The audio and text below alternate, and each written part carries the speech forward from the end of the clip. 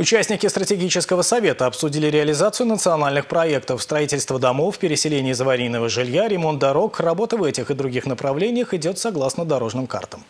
Сегодня в Чувашии действуют 11 национальных проектов. Для их успешной реализации были разработаны 46 региональных документов. Финансовое обеспечение всех региональных проектов в 2021 году э, составляет 16 э, целых одну десятую миллиарда рублей.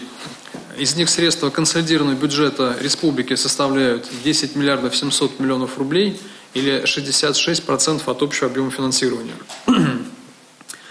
Доля финансирования региональных проектов в общем объеме расходов республиканского бюджета планируется в объеме 14%.